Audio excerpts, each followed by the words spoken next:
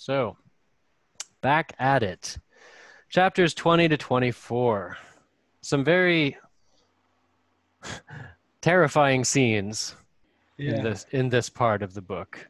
And probably the worst scene of all in my opinion, but there are plenty of bad ones.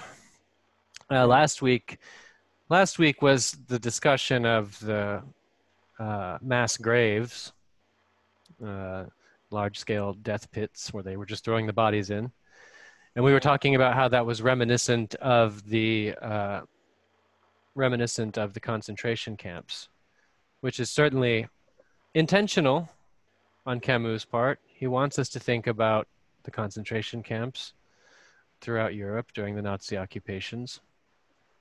Um, but now, well, let's dive into the situation in chapter 20. Raymond's escape.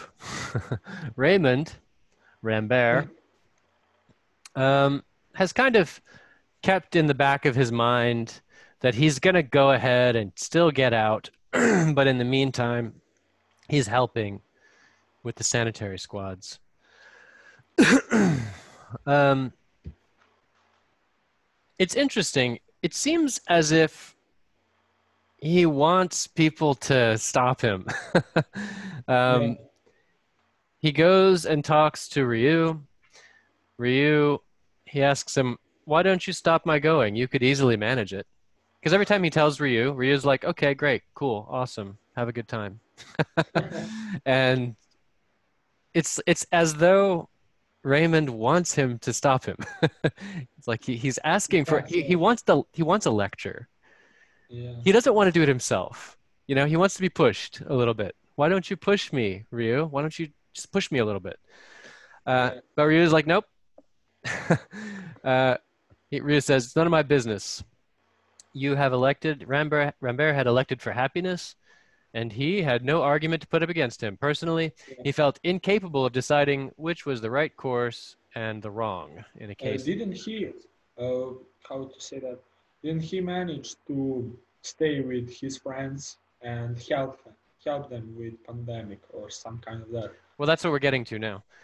Oh, okay, okay. these because I don't know actually what is the order by chapters. Oh, I yeah. I didn't thought about actions in chapters. Yeah, I'm- this is right at the, at the beginning of 20 he's still trying he Yeah. uh if you look here on the screen he stays with those two guards the brothers marcel and louis yeah. who are the out of the criminals those are the only two french names all the criminals are spanish it's kind of funny i, I don't know we were talking Bad about this bad guys. I don't know why. i think. I, I don't know like we were maybe talking because they were with Nazis, some kind of. maybe but Maybe. i mean there were also Francisco Franco and the, uh, the but there was yeah but there were spaniards fighting against him too there was a resistance also um, yeah, I'm joking, just but yeah who knows? We were talking about this last week and it's you know ironic that there are no arabs but there are spaniards and we were thinking maybe he was ironically putting the spaniards instead of arabs in Yeah. this town which is which should be full of arabs. Um, so uh, yeah so he says uh, maybe i would like to help you with your happiness is what Rieux says. Uh, that's his attitude. Uh, then he goes to stay with those two guards he meets their mother. The mother is also pushing him to go forward. Nobody's trying to stop him. And it's like he's, it, it seems to me, now this is not from the study guide, this is not directly stated in the book, but it really seems to me like he wants somebody to tell him, don't do it. But everybody's like, sure, fine, go for it. Let me know how it goes. Nobody cares about him actually. It's So, that's uh, partially it because Rieux is always very matter of fact. Rieux Yeah. always says, "Look, I have more important things to worry about." Yes, and Yeah. when they met first time, he didn't want to help him, and he said, "Figure it out by yourself." Yeah, and he, he even says, "You know, let, let me know how it goes. I'll be Yeah. uh, listening with interest to your progress." yeah. Um, so yeah, the old woman, the the mother of Marcel and Louis. It's funny also, by the way, that the mother is Spanish, so we kind of get the picture that Marcel and Louis are also half Spanish, and they must have been born here. That that means their father must be French. Yeah. It's funny because none of that is written, but you can figure it out because the mother is Spanish and the brothers are named Marcel and Louis. So you Maybe he- their father is in prison. maybe, maybe. Um, so the the old woman, she's religious. Uh, she asks Rambert, "Don't you believe in God?" And when he says no, she says, "Ah, okay. Well, that, yeah, you must go back to that girl, or else, what would be left for you? It's like if you don't have God, you might as well go to your wife. Uh, that's it. And I put this question at the end. Doesn't he seem to be expecting to be lectured? He wants somebody to say, "Now, why should you be so selfish?" et cetera, et cetera. But nobody will do it. it. It's good though because that means when he makes the decision, it's really him. It's nobody pushing him. You know. Yes. In Serbia, people would push him. I, I'm sure Yeah. they will tell him their story about that, Yeah. their opinion. Um, so yeah, he goes. He decides to stay. Uh, he goes. Uh, uh, he talks to Rieux, of course. He goes to I Rieux. think, uh, he went to sanitary. Yeah, like yeah, there is a clinic. Every just at this point, just about every major building in the city is some kind of medical, makeshift medical facility. They have quarantine camps. They have makeshift hospitals, and then infrastructure concerned with the transportation of the dead. Yeah. um, and that's the, the, almost the entire city is that way.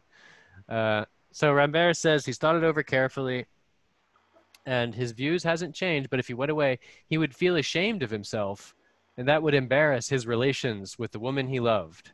Showing more animation, Rieux told him that was sheer nonsense. There's nothing shameful in preferring happiness. Certainly, he says, but it may be shameful to be happy by oneself. So this is interesting. Um, for a number of reasons. He says it may be shameful to be happy by oneself. And by oneself means with his wife. Yeah. um, so that's kind of casting himself out of the city of Oran and being alone, that is to be with his wife. Um, yeah, it's it's interesting. Uh, he realizes he might not be able to live with himself, or he might not be able to live with his li- with his wife if he just leaves. He says, "Until now, I always felt a stranger in this town, and that I'd no concern with you people. But now that I've seen what I've seen, I know that I belong here, whether I want it or not. This business is everybody's business." Um, he still, when he's saying all this, he's expecting Rieux to applaud him now. Yeah, but This thing- Yeah, because for Rieux, you're just doing the normal thing. Yeah. There's no reason for applause in Rieux's eyes. You know, he's like, okay, great. Raymond asks Rieux, haven't you made a choice to reject happiness? In other words, to uh, to work ceaselessly, not try to get to his own wife, to Rieux's wife. And Rieux, as coolly as ever, says, "Forgive me, Rambert. Well, I simply don't know, but stay with Yeah. us if you want to." See, he's always he always deflates. He's so cold, I don't know. Yeah, he, he, has he has not uh, emotion. he's very calculating um, and he's def- he, he deflates people's expectations and egos so that's the thing you know first raymond was expecting to be lectured and people try to stop him then he was hoping to be applauded uh, at least that's how it seems in the dialogue he gets all emotional he gets annoyed and says haven't you made the decision to reject happiness and rambert says or, sorry Rieux says i don't know Stay if you want.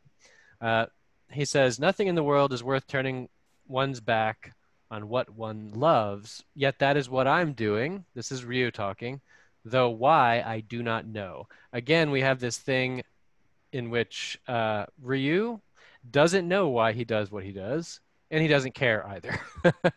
He's like, Yeah. We can talk about that some other time. Yeah. That's his whole attitude. Ah, Rieux said, a man can't cure and know at the same time. There it is. He's, I don't know. because I'm curing. A man can't cure and know at the same time, so let's cure as quickly as we can. That's the more urgent job. He's just thinking about his patients Exactly. and you know about his job, not about personal problems Yeah. and relationship problems. I think that Camus would even still want to hold back on saying that it's about the job. um, I think that even if Rieux had not studied medicine as a profession, he would still be doing this kind of thing because it's the person that he is. Yeah. You know, I don't think I don't think uh, Camus would say, "Oh, it's I'm just doing my job." We talked about this a couple episodes ago. Uh, it, that's a bit of a problem. That's the defense that uh, that Nazi camp guards used in their trials. They said, Yeah. "I'm just I was just doing my job." So it's not. I don't think it's good enough to say I'm just doing my job. It's uh, something like the world is a hospital, and you're either a patient or you're trying to help in some way. Those are the two things you can be. I forget who said that. There's a saying to that effect, and that's kind of what this book is all about. Um, so even I, I don't think it's I don't think we should use the word job, but yes, it just happens to be the fact that Rieux is a doctor. Um, and, and so he's, you know, very capable of curing. But the book always wants to make the point to us that even if Rieux is a skilled doctor, it doesn't matter. The plague is unstoppable. Um, it's, you know, Rieux is not, it doesn't have what it takes. Nobody has what it takes to stop the plague to stop it's like nobody has what it takes to stop the weather. Yeah. that and it's always that you know. That's why the weather is such a big part of this book. Uh, it does what it's doing. It doesn't care about plagues. It doesn't care about people suffering. It doesn't care about people being happy. It just does what it does. Nature is quiet on the on the topic um, so a couple of comparisons to make here both raymond and cotard have come to feel a sense of belonging interestingly enough Yes. but What's they're obviously very different characters. Uh, you know, so what's the difference? I, I mean, is there a difference? Uh. Yeah. Do you want to say or? yeah, no, go ahead. I, I want to hear what you think. Uh, sense of belonging. I don't know. Like I mean, Cotard Mhm. was at uh, you know at the beginning, he was always helpful. I would say. Always he healthy? Didn't made his uh, changed his mind so a lot. And Well, Cotard Uh, never, also he's never, also a stranger, but yeah, I don't know how to say. He's a traveler, and he has that sense of belonging everywhere. I would say something like that. but he didn't. everywhere, but He was an out, he felt like an outsider because of his status as a criminal, and it wasn't until the plague came that he became friendly. no. Remember? Yeah, yeah. Okay. Yeah, That's right. what Grand said, because Grand is his neighbor, uh, and Cotard felt alienated, uh, and so much that he tried to kill himself. And then after the plague came, suddenly Cotard is great. He feels fantastic. He loves everything that's happening. Also, he's making money as a smuggler. Yeah. Um, he's on he's on the black market doing his thing. He's doing his muchke. yeah. uh, They they also both they are both uh, both involved in criminal activity, something like that. yeah, but because from Raymond wanted to escape. But from two- yeah, but from- illegal, and they are also. Uh, coming from two opposite ends, though. That's that's some kind of yeah. that- that's true. No, that's a good Yeah. point. But they're also coming at it from different sides, where Cotard is the provider and Raymond is the consumer. And I would Um, say also that Ra- Raymond, uh, you know, uh, this plague was a shock for him, especially because he didn't uh, imagine himself, you know, in that position. He just wanted to visit his girlfriend, but Cotard, you know, it was good for him that plague started. Not good, but you know, It is he though. was he was uh, how to say that? Cotard uh, is is an interesting character because for him it is good. Yes, he, He likes it. He is in that situation. How to say that? He's he- profiting from it, and uh, Yeah. whenever they ask so they don't they don't give raymond any lectures but they ask Yeah. cotard they ask cotard hey why don't you help? And he says i don't it's not my fault. I can't do anything. Besides it probably won't help anyway. The plague is Yeah. unstoppable. And anyhow i'm doing fine. Like and he has all these excuses uh why he can't help why it's not his fault and blah blah blah. Um raymond eventually feels a conscience and i think that's probably the big difference between them is that Raymond has some sense of conscience. Uh, yes. Cotard does not have a conscience, I don't think. Yeah, Cotard is crazy, like the situation Yeah, in which he Yeah. is. I mean, you so got to he think fitted in well, and you know, Cotard is a rat. He's, he thrives during the plague. Actually, the rats don't even thrive; they they die too. So he's some kind of super rat that that thrives during the plague. Um, and Raymond, Raymond is not. Raymond uh, just he has a sense of, of conscience. Um, yeah. now they both feel like they belong, but for very different reasons. Now another, uh, you, you'll notice that throughout the book there are parallels that are also contrasts. Uh, for example, there's the parallel where before the plague, people behaved as if they were parts of a machine and they didn't think about their life too much and they just did business and uh, each they, person they suddenly started to care about each other, and Yes and no, though, because it they did and then they didn't. Because after when the plague reaches its peak, uh, everyone has seen so much horror that they sort of begin to behave like automatons again, but in a different way. It's interesting because uh, Rieux talks about how people began to not really think about anything, where they're just moving, and at some point, all of the death, it just be, you just don't see it anymore. You're just Yeah. moving. You're just doing things. For Rieux, it's going around. It's uh, treating for patients. you is the same, you know. I don't know. He, But everybody he becomes- acted so cold, you know. Whether it was a plague or he was always realistic. But it says that happens to a lot of people, not just Yeah. him. they just become numb, but and they go through their days just trying to deal with the one thing in front of them. They don't have time to think about anything else. Other problems and Um, yeah, they're just trying to problems get through. other people, they don't have time to consider. it. But the point is, in both cases, people wind up in this mechanical state. Life before the plague and life during the plague take on this mechanistic tone. And there again, we get this ironic parallel, but it's obviously very different. Yeah. You know, people are moving like zombies through the plague. Uh, but before they were moving like zombies through the business world. Now, well, business world, I don't know if that's the best way to put it. It the way that life was described before the plague was that even social interactions were transactional. You know, like like matters of business, even talking and you know, going through your social existence was a kind of transactional thing. I I think the difference, I mean, obviously there's a huge difference just in the the literal sense that there's a massive plague going on.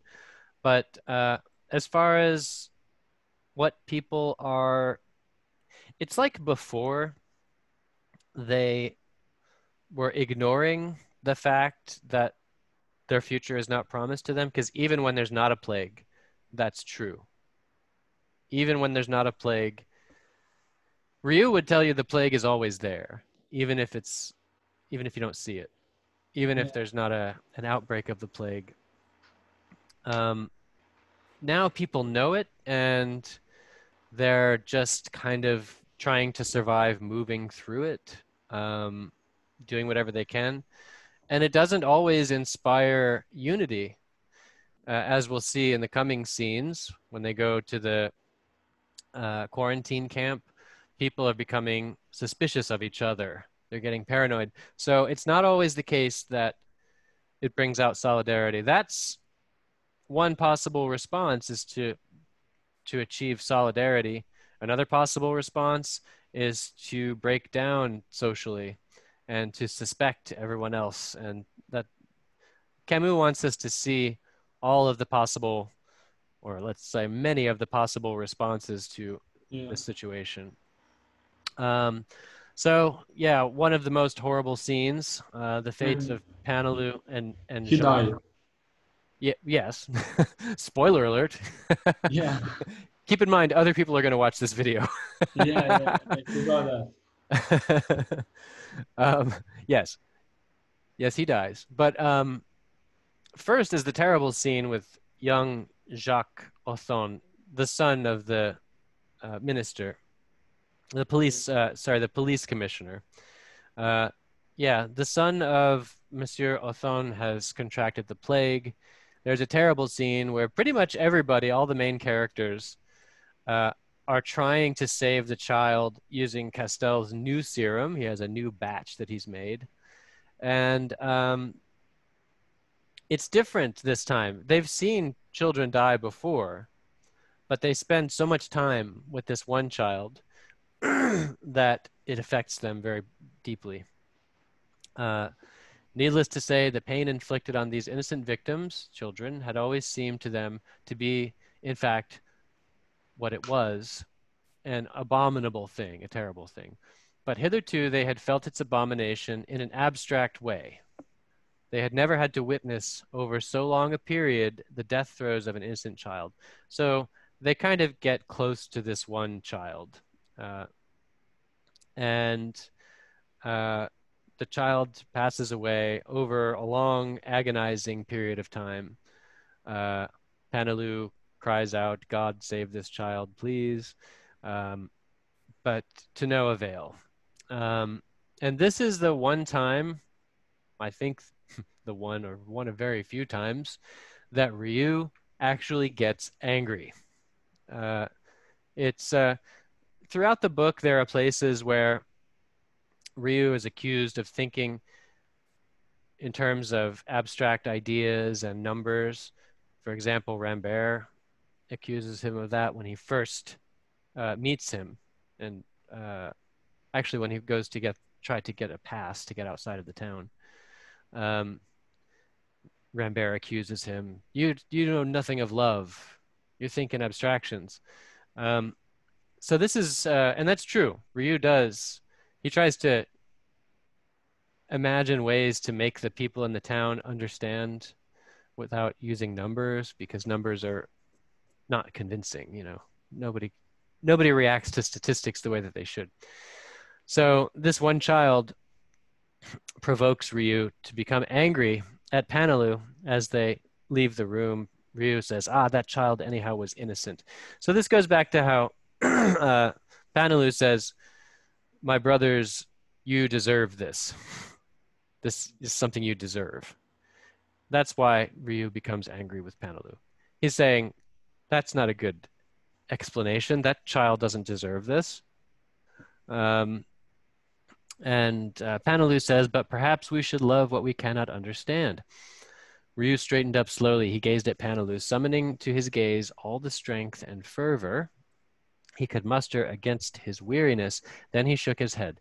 No, father, I have a very different idea of love. Until my dying day, I shall refuse to love a scheme of things in which children are put to torture. Um, Paneloux responds by saying, I just now learned what grace means. um, remember, Paneloux's position is that this is a deserved punishment coming from on high. Uh, like he spoke in his sermons. Also. he spoke what? Oh, yeah, his sermons, yes. Yeah. Um, and so, you know, Rieux can't abide that explanation. Uh, first of all, because Rieux's not a believer, but Yeah. even aside from that, just the for Rieux, the idea that there's a reason that a child should be put to torture Yeah. is is abominable. There's there's no reason for that, uh, and this is where they they disagree. And Paneloux is very shaken by this, by the death of this child. Uh, he's humbled. Uh, he doesn't. Uh, it, it obviously shakes him. Uh, Paneloux holds out his hand to Rieux, saying regretfully, "And yet I haven't convinced you. That is to say, convinced you that that this is all part of God's plan."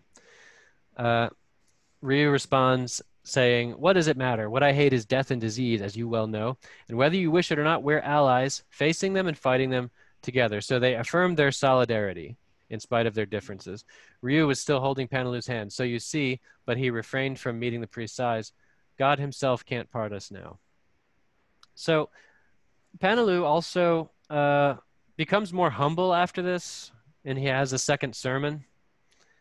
Uh, Interestingly, he only invites the men to this sermon. Yeah. We'll talk about that in a second, though. As they're talking, uh, the next day, Paneloux drops this hint. Uh, when one day he told Rieux, okay, one day, and maybe not the next day, with a smile, he was working on an essay entitled "Is a priest justified in consulting a doctor?" Yeah, uh, about his situation. Yeah, but we don't know about that yet. it's a, it's a bit of foreshadowing. uh, it's uh, it's funny. It's very passive, like not passive aggressive. It's a passive communication. Like I could write a story for, uh, I could write a story for somebody titled, "Hey, can I have that piece of chocolate?" right? It's like, oh, okay. I wonder what that story is about. um, so Rieux had gathered that something graver lay beyond behind the question that the priest's tone seemed to imply. So Rieux suspects that there might be a problem. So Paneloux has a second sermon. There's high winds that day. In fact, winds interrupt the sermon at some point. Uh, so there's a lot of wind, and he only invites the men. I forgot to put that up here. Uh, I have some opinion, but I don't know. Okay, I, let's hear it. I forgot because I forgot uh, what was in your book, but maybe uh, men are more responsible than, than women. I think I think like this, and they are maybe head of families, especially because it was in mid uh, twentieth uh, century, and maybe you know that was strong. That that, that he thinks that men. I don't know in that time. Well, I mean, he is uh, a churchman. Um, that could be my suspicion is that he knows he's about to do a sermon that is basically saying, hey, look, some children are going to die, and that's all part of the plan. And he doesn't want to say that to mothers. That's that's my yeah, opinion. Something like that, because men are stronger and maybe because well, also they're not the mothers. I mean, like yeah, to, to tell a room full of mothers that yeah, I can't children, imagine that scene. Yeah, that your children are going to die, and it's fine. it's yeah. it's all part of a a grand plan. I think he can't bring himself. That's just my opinion. It doesn't really say why. I think uh, also that is the cause. Yeah. I think deeper. Um. So. By the way, uh, there's a side note here that a lot there are fewer people at the second sermon not just because of it being only men but also because a lot of people had to stop being religious and instead had gotten into all kinds of uh, uh, superstitions and little rituals to try to avoid the plague um, and prophecies. They, they started reading all the prophecies they could find. They were looking back at the old uh, nostradamus and anything they could find to try to see what was going to happen, to try to see the future. Uh, it became profitable for the local printing firms. They started pandering to this new craze and printed large numbers of prophecies that people had been circulating in manuscript. So the newspaper started collecting all these little prophecies and, and publishing them for profit. Uh, it also goes on to say that after they ran out of those, they just had their journalists write some new ones because people were so hungry for any feeling of control, any way that they could talk about the future. Because eh, remember, every time someone thinks about the future, they immediately feel their heart break. Uh, yeah. be- because they're what future? they don't know that they'll have a future. In fact, they probably won't. Um, so anytime they can find a way to get a hold of the future for a second, it feels good. So these prophecies become very popular. So the sermon itself, though, Rieux comes to watch. Uh, the first thing to note is that uh, the, uh, Paneloux seems a bit more uh, humble. He speaks in a gentler, more thoughtful tone. Uh, and he stumbles over his words sometimes. So he's definitely been deeply affected by the death of the child. Yeah. Uh, it's made him really question everything. But he decides to double down. yeah. if, you, if you know that phrase, double down, uh, he, he, decides to go harder. Um, he does also say we now instead of you. When he had the first sermon, he said, Brothers and sisters, you deserve it. Now he says we. Uh, so he's, uh, he's feeling the solidarity. Yeah, maybe he's skeptical about himself. I don't know. He's what? What?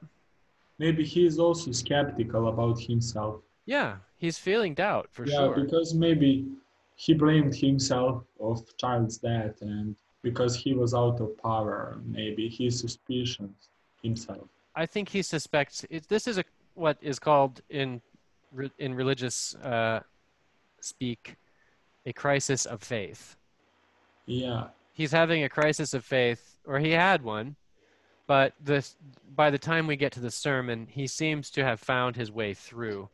Uh, even though he seems shaken, uh, he basically says that there is no half marker. You either believe everything or believe nothing. There's no in between. Uh, he says, My brothers, a time of testing has come for us all. We must believe everything or deny everything. And who among you, I ask, would dare to deny everything? This is leading up to him uh, saying that we must accept our fate. He says, or it says, he made no doubt that the ugly word fatalism, so that would typically mean being uh, resigned to your fate. In other words, not struggling against it. Uh, the ugly word fatalism would be applied to what he said. Well, he would not boggle, he would not be surprised at that word, provided he were allowed to add the adjective active fatalism. So he does, he, he's changed because he's helping now. Uh, if you recall, when we first see him in this chapter, he's in the clinic helping. He's helping fight the plague, which seems contrary to what he said right? He was saying this is all part of the plan, but it seems he's come to a kind of conclusion that says, I'm going to fight the plague in other people, but for myself, I will, I will do nothing. Uh, that's kind of his position here. So that's the active part is he does, he's now in the struggle instead of lying down and not fighting against creation. Uh, no, we should go forward, groping our way through the darkness. This is his part of his sermon. Stumbling at times. There's a scooter going by outside. I don't know if you can hear it. yeah. Stumbling perhaps at times, and try to do what good lay in our power. As for the rest, we must hold fast, trusting in the divine goodness, even as to the deaths of little children, and not seeking personal respite. So that's rest. You know, we shouldn't seek personal comfort. We should help uh, doing what we can. Uh, when Rieux was preparing to leave the church, a violent gust of wind swept up the nave. That's like the main part of the church floor. Uh, through the half open doors and buffeted the faces of the departing congregation. So they all get blasted by the wind on the way out. There are some priests talking who are listening to the sermon. Uh, the elder priest uh, says, actually, we get this. Rieux's account. So Rieux says that the elder piece paid tribute to the preacher's eloquence, but the boldness of thought Paneloux had shown gave him pause. So the elder priest is like, I don't know about this. yeah. Maybe he's a bit heretical.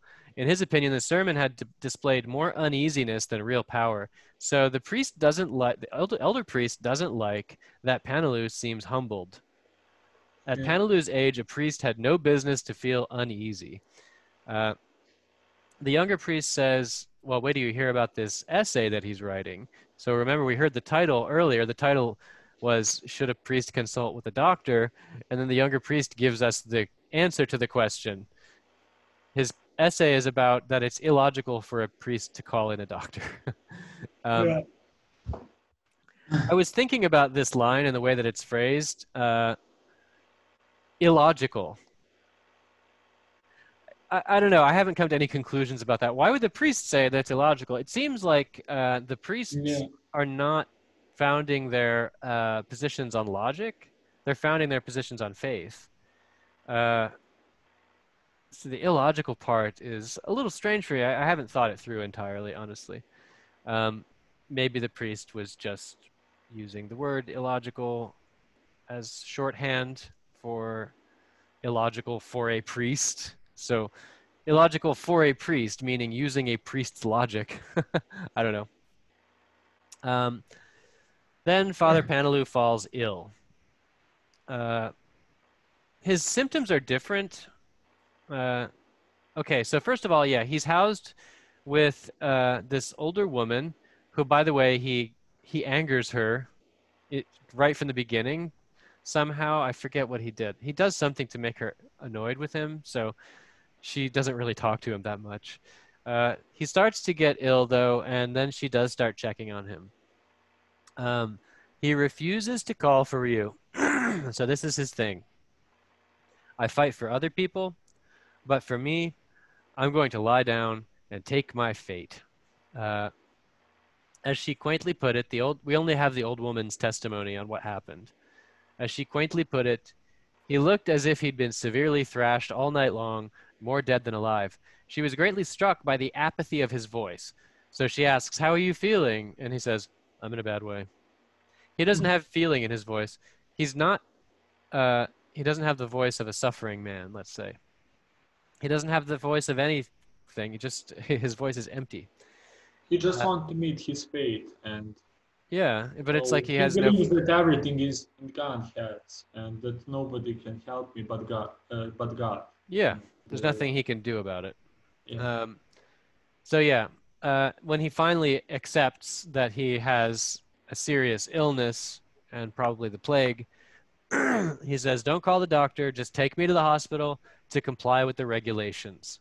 And so she does so. She calls uh, to get him taken to the hospital. when Rieux finally sees him, uh, he says, You have none of the specific symptoms of the disease, but I admit one can't be sure and I must isolate you. So Paneloux goes into isolation, and true to his word, Paneloux dies, seeking no he- help for himself. Uh, Paneloux's eyes kept their blank serenity, and when next morning he was found dead, his body drooping over the bedside, they betrayed nothing. Against his name, the index card recorded doubtful case. Yeah, because he had none of the uh, symptoms. Well, uh, he he coughed up blood. I guess he's supposed to be. I don't remember if it says specifically. I guess he's supposed to be one of the new pneumonic plague. The plague changes to a pneumonic yeah. plague, um, and I guess Paneloux is one of the first. Okay, trip to the stadium. So we go to a quarantine camp that's been uh, put into a stadium. Here's an actual picture of a quarantine camp in a stadium. Obviously, not the one in the book, which is fictional. Um, yeah. Maybe that's Spanish flu or something like that. Kind of what? Maybe it's Spanish flu. I think it is Spanish flu, actually. Yes. Because it was in that in those times. Yeah. Um, earlier, but yeah. Yeah, um, at the end of the First World War. Something. Yes. Um, so it starts off with a note about the weather because we always have to hear about the weather. um, November 1st, that's All Saints' Day. Uh, the day after Halloween, which is actually not just some pagan holiday uh, in the Christian calendar. Uh, I, am not sure about any Orthodox calendar. I think it is something, but yeah, uh, in Orthodox uh, calendar there is Saint Luke, I think. Okay. That day. Um, it's the the Day of the Dead, um, and actually this is November 1st. They ignored the Day of the Dead. We'll talk about that in a second, though. the The weather was seasonable. In other words, the weather was normal for that time of year. Uh, there had been a sudden change, and the great heat had gone away, had given place to a mild autumnal air. In other years, a cool wind blew all day, uh, as in other years. So it's the same. Cool wind blew all day. Big clouds raced from one horizon to the other, trailing shadows over the houses. So we get this thing again where the weather is just doing what it normally does while people are going through extraordinary circumstances. So, is the message here from Camus that the seasons go on as usual, uh, despite the plague, or is the message that the plague, that like plague and war, seasons come and go, whether or not people are ready for them, or is there a third interpretation? Or I think it's actually a combination of those two things. uh, nature is silent on the subject, basically. It's the unreasonable silence of the universe. Um, People have no desire to note the day of the dead. Uh, it says that the dead were intruders whom you would rather forget. This is why the Day of the Dead this year was tacitly, quietly, but willfully ignored. As Cottard dryly remarked, uh, Tarrou noted that the habit of irony was growing on him more and more. By the way, Tarrou, we talked about this last time. is trying to figure out Cottard because Tarrou's thing is he knows everything. Tarrou's like, I understand everyone but he can't figure out Cottard. Cottard's a mystery for him. Uh, anyway, Cottard says each day was for us a day of the dead. so they just ignored the day of the dead. Uh, they go to the quarantine camp, and the people they await death in individual tents alone. Uh, Rambert, Tarrou, and Gonzalez visit the stadium. They got Gonzalez to help out. That's good. Uh, see, Gonzalez is feeling the solidarity. Uh, Gonzalez is also the football fan. He's always trying to find ways to kick something, uh, you know, like throw something up and catch it on the top of his foot. Uh, he's always doing stuff like that. um, and he, when they're at the stadium, he says, "Well, at least I get to come to the stadium." Um, so yeah, they go to the stadium it says that yeah they have individual tents but during the day they hang out in the bleachers. They hang out in the, the seats. And uh, yeah on entering the stadium they found the stands full of people like the picture that we saw. Uh, the field was covered with the tents in which you could see uh, bedding and bundles of clothes. What do they do with themselves all day? Tarrou asks. Uh, Rambert says nothing so these people have been reduced to not struggling anymore. They've lost their struggle.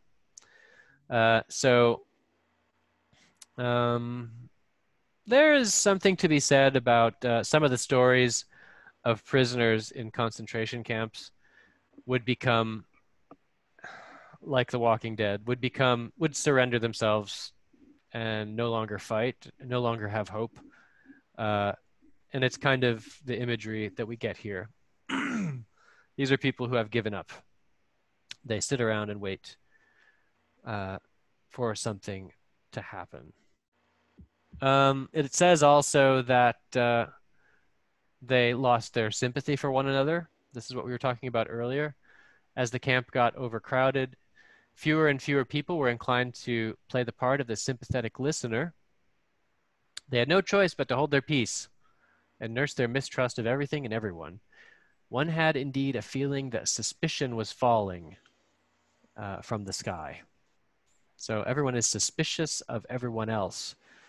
So solidarity has been destroyed in the camp among these people.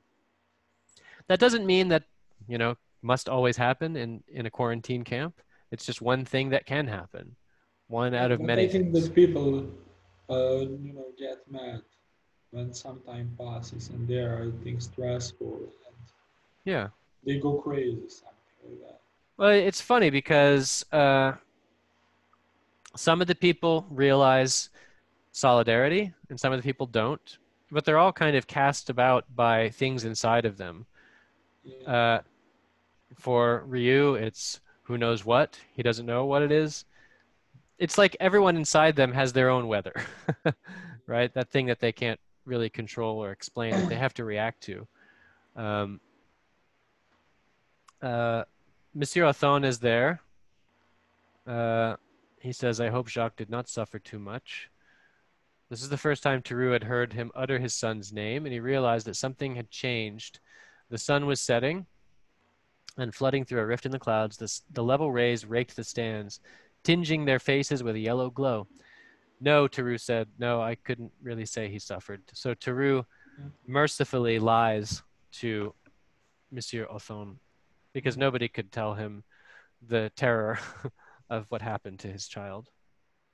And um, his wife, where is she? Are, is she also in camp? Or? She is in a camp, but I don't think we get a discussion on that. At least not yet. Um, everyone because had. I remember that uh, they were at camp and their son was son was in. Well, they were they were at home, and then uh, Yeah. they uh, Rieux had to pay a visit and check on the son, and he said yes, he has symptoms, which means immediately the whole family has to go into quarantine. Yeah, yeah, Uh, so, and yeah, they're separate camps for men and women. yeah. So, yeah, the wife is in a quarantine camp also. The quarantine camps lower the town's morale, and the weather shifts again. Breaches of the peace and minor riots became more frequent. So people are fighting, they're probably storming the gates trying to get out. Uh, as November closes, the mornings turned uh, much colder. Heavy downpours, so that's rain, had scoured the streets and washed the sky clean of clouds. In the mornings, a weak sunlight bathed the town in a cold, sparkling sheen.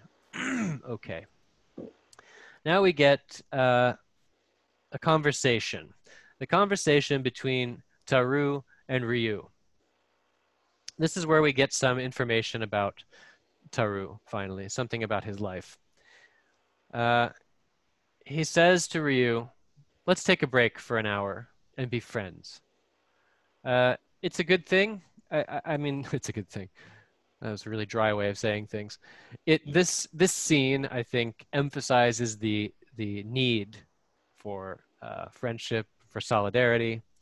Uh, Tarrou says, "Let's be human beings for a little while, just an hour," and uh, he tells him about his past.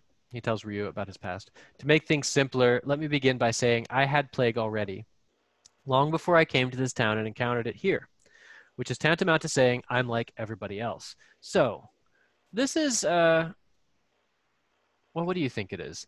Everybody has the plague already, yeah. even when there's no plague.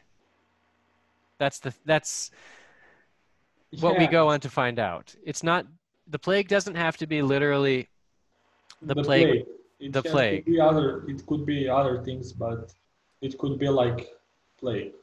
Yeah.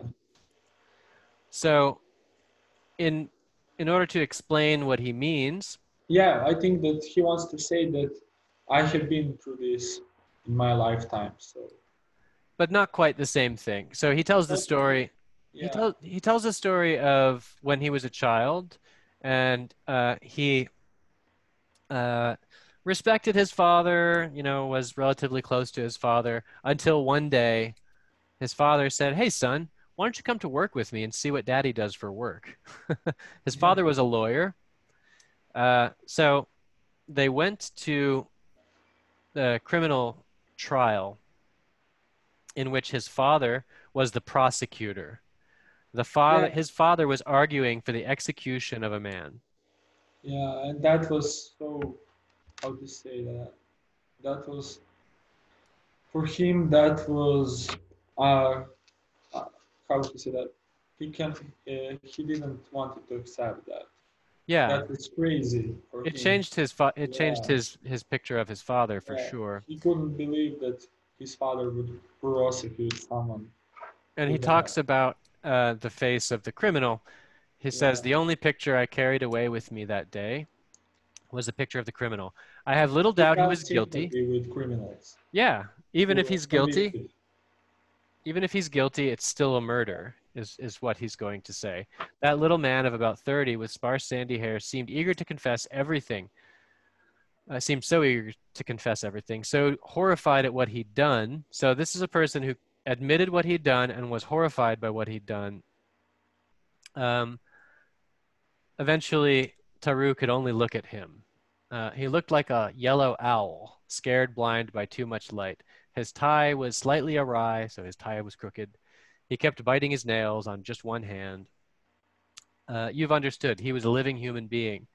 Uh, so Tarrou realizes the torment of this person, even if he's a guilty criminal.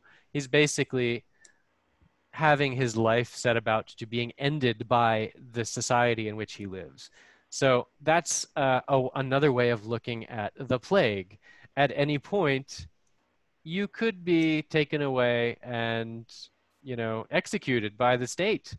Uh, the fact of your guilt or not is kind of beside the point. Innocent people get executed. It's happened. um, in any case, it's a murder. Uh, yeah, he came to think of this as a murder, not as his father doing his job. Again, think about the Nazi concentration camp yes. guards. Um, so it's wrong, even if it's your job. I, who saw the whole business through to its conclusion, felt closer to that criminal than my father could have ever felt. Uh, nevertheless, it fell to him, in the course of his duties, to be present at what's politely termed the prisoner's last moments. So the father goes to watch the execution.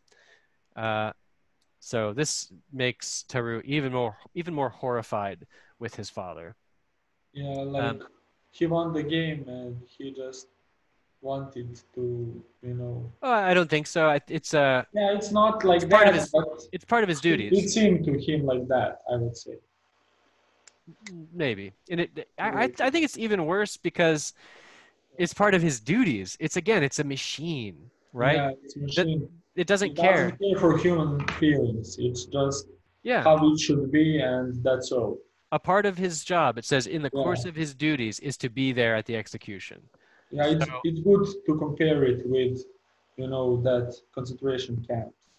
Mm-hmm. And it's good to compare it with the weather, and it's good to compare it with the plague, because it yeah. just does what it does. Uh, it happens to be man-made right? The system, the justice system of a society is man-made, um, but it is kind of creation as he finds it. So Tarrou fights against creation as he finds it. That's how they described earlier. Rieux said to Paneloux, I fight against God's creation. That's my job. I'm a doctor. I fight against creation as I find it because I fight against disease, and disease is natural. So I, I, I suppose I'm unnatural. Um, But Tarrou also decides to fight against the social order. He doesn't say exactly what he means. Um, he says, To my mind, the social order around me was based on the death sentence. And by fighting the established order, I'd be fighting against murder. Apparently, Tarrou is a big guy in different parts of Europe. Uh, it's that he says that he joined some group of agitators. He also says that he's known through many countries in Europe. it's interesting. So he's yeah, part of some kind of. Yeah, I also mixed him with uh, Cottard. You know, when I said that he uh, traveled to a lot of places. You know. Yes, I thought you I might have. Wrong. I, I thought of Tarrou, but I said for Cottard. Yeah, yeah, I thought you might have mistaken because I remember a conversation. Yeah, I'm mistaken it because I I don't know. I'm their names are so. Yeah, you have to get used to them. Yeah. Um, so we find out that he he's been some kind of resistance fighter before. Uh, he joined with a group of people he liked and he still likes. He spent many years cooperating with them, uh, and he's been all through Europe struggling. Um, then he talks about how he realized that his decisions still wound up being death sentences sometimes because he was fighting in a resistance of some kind. Uh, it says, I knew that we too, on occasion, passed sentences of death. Here, I can use the. Where is it? Just a sec. Is this the pointer? Yes. Here we go. Aha, there we go. that we passed sentences of death by the way, this is certainly a reference to Camus' own misgivings about being in the resistance, uh, because if he's aiding in the resistance in Paris, he's certainly contributing to the deaths of people, right? Mm-hmm. Um, so it would be strange not to have any feelings about that, even if they are Nazis. They're still, you know, people. uh, so I was told that these few deaths were inevitable for the building up of a new world in which murder would cease to be. Uh, that was also true up to a point, and maybe I'm not capable of standing fast where that order of truths is concerned. Whatever the explanation, I hesitated. But then I remembered that miserable owl in the dock, and it enabled me to keep on until the day when I was present at an execution. so he sees an execution in Hungary uh, with a firing squad, rifles, you know, firing at a man at a post, like a what's it called, or at a wall, I guess. I think he was at a post. Um, and yeah, it horrified him to see this this execution. So then he came to realize that he just has to fight uh, against the, the idea of, of people murdering each other. I came to understand that I, anyhow, had had plague through all those years in which, paradoxically enough, I'd believed with all my soul that I was fighting it. so he was kind of, he would say something like, if you're a part, a cooperative part of the system, working inside of the system, then you are, you're a part of it, right? if you're not fighting against it, then you're a part of it. Uh, and he realized that about himself. In any case, my concern was not with arguments. So this is right after he, he talks a little bit about his colleagues would give these very convincing arguments and he would come back at them saying, yes, but these other people can give also very convincing arguments as to why it's right to do this or that. Uh, so then he says, in any case, my concern is not with the arguments. It was with the poor guy, the, the, the guy who was going to be executed. And that foul procedure whereby dirty mouths, stinking of plague, told a fettered man, so that's a man who's tied up, that he was going to die, and then scientifically arranged things so that he should die. This is a very interesting way of putting things. Uh, you can think about, yes, the concentration camps. Uh, uh, that was horrible they used, you know a lot of bad ideas yeah, I, uh, Hannah, there's a, a, writer named Hannah Arendt. She, I think, would call the, the concentration camps uh, corpse factories.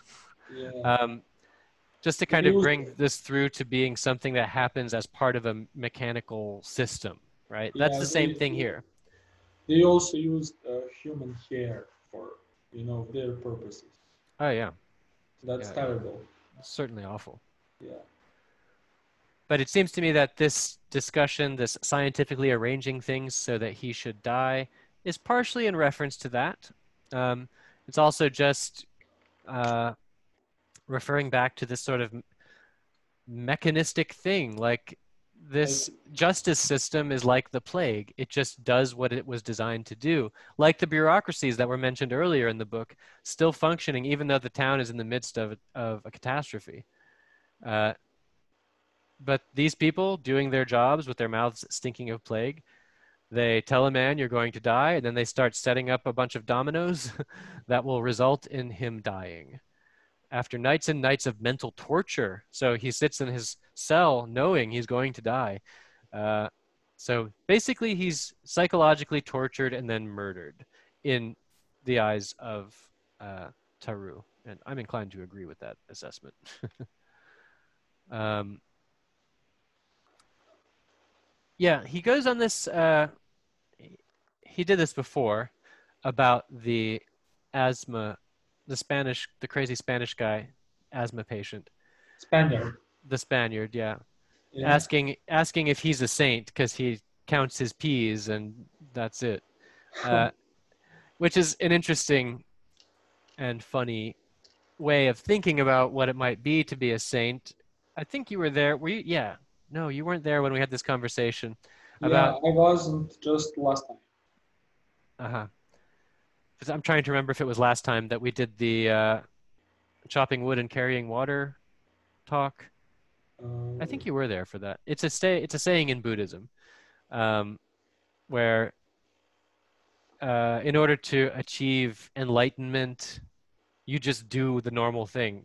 You have to free your mind and let's say your soul by just doing the normal thing that you would do and not thinking about it. I think it relates yeah, to this pretty like well. living on your instincts. But it's not even an instinct to chop wood. You have to Yeah. that's something you have to learn. And you can learn it so well that you perfect it and you can perfect it so much that it just becomes like breathing. And that that, that would be kind of like a Buddhist position on that. You breathe. Uh, that's what you do because that's what you're supposed to do. um, so, yeah, uh, Tarrou is really interested in this idea of how to become a saint.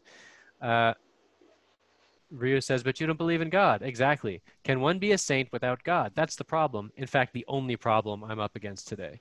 So he wants to be an atheist saint. Yeah. Uh, he wants to figure out what that means.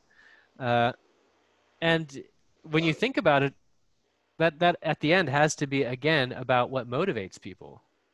I mean, I don't know. Doesn't it? Because for Paneloux, it is uh, it is God that that motivates him.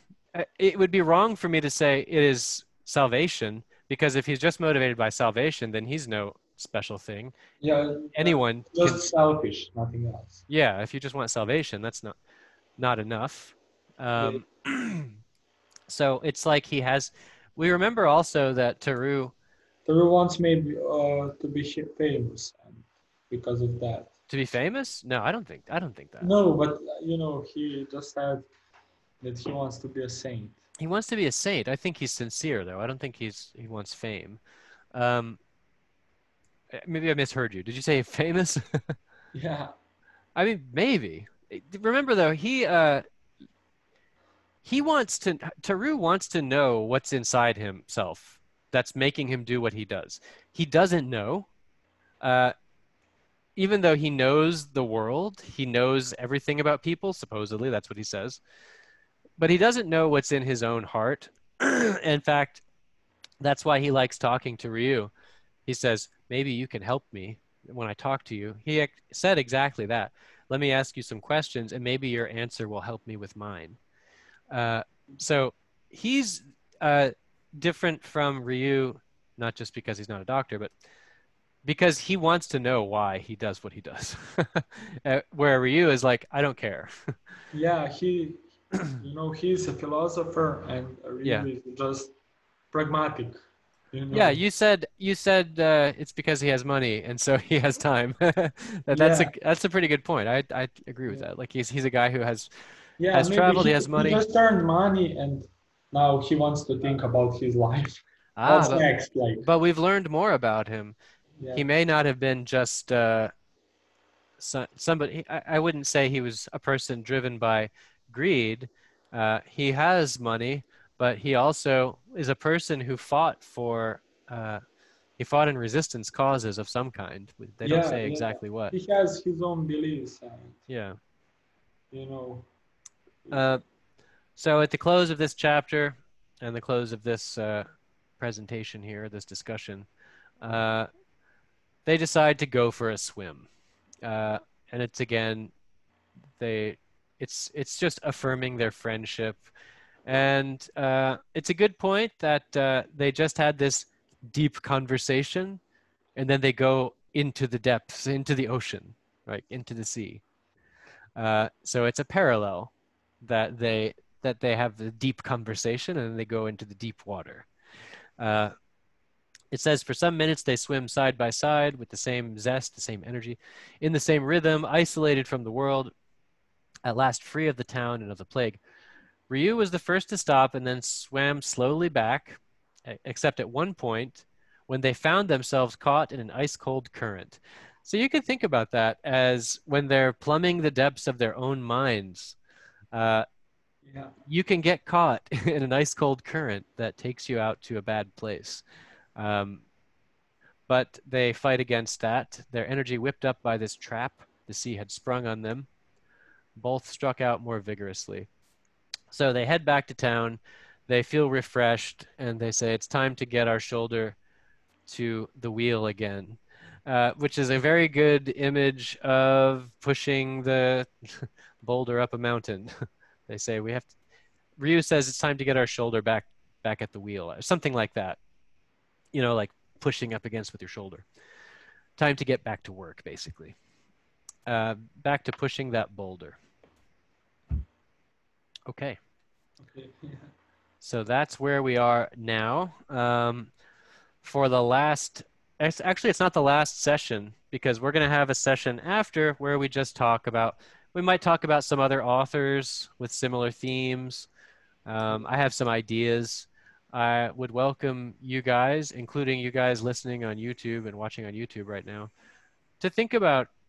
Uh, this is not for the next one, but for the final one. There's a final one that's after the book is finished. Um, if you would like to talk about some other author, book, movie. Uh, with similar themes, uh, definitely feel free to. You can even email me about putting something in the slideshow about it. But yes, the next session will be the last session uh, about the book itself. Of course, the final session will also be about the book, but Yeah. uh, this is the last reading section. So if we want to suggest you some mm, book or you know story, we can suggest you in mail or Yeah, yeah. Basically, we want to uh, find. But we want some special kind of you know books like classics or you know No, no, no. We want to. We're we're trying to stick with the themes from this book. Uh, so, ah, like plague. well, either the plague or uh, about what some kind of wizard. what motive what well no it doesn't have to be. I have some ideas that are not miserable. Yeah. um, that are just about like what what is inside you? Like what motivates you? Um, so i'm a big fan of the author kurt vonnegut so i'm probably going to talk about some of his stuff because he has a lot of themes involving what makes people do what they do um, and what makes a person a person and what a person really is uh, so we're going to talk a bit about that um, and some other things. Uh, I might push a bit more on some of the parallels here with uh, with Buddhism because I see a lot of parallels in Buddhism uh, in the way that Rieux thinks about the world. Uh, the Buddhists often have these very pragmatic, let's say, proverbs, and sayings like the chopping wood and carrying water one and the one that goes simply when you are hungry eat your rice. When you are tired sleep. Uh, fools laugh at this but wise men know what it means. That's an actual saying. Um, and it's very it's very simple and straightforward. Um, and it's kind of it to me it, Rieux reminds me of that. R- Rieux reminds me of that saying a lot so uh, we might push on that a bit more. I haven't decided entirely what we're going to do in that last session. It's a bit, it's kind of open. Yeah. Okay. Yeah. So Jason, maybe you can also send us, you know, those books that you want to do with us. Maybe to just read a little bit of them, what's happening, and maybe to discuss yeah, what what should be the next book. I can I can Mm. send out a bit of support material for sure before that Yeah, but that's in Mhm. future. First, we have those Yeah. two lists. First, we have one more session about the book, Yeah. directly about the book. Yes. Okay, so cool. Um, in that case, I will see you next time. Okay. All right. Okay. Then see you next time. Have a good Bye bye. You too. Thank you.